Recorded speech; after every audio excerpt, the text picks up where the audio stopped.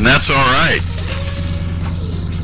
But you see what I'm trying to say? If you keep that nose down, then uh, then you're going to be okay. Uh, even though you've got the flaps, you add that extra power in there, and then keep that nose down. I'll do one more of those